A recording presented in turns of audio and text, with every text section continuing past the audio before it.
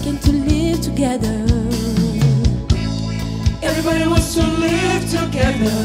Why can't we be together?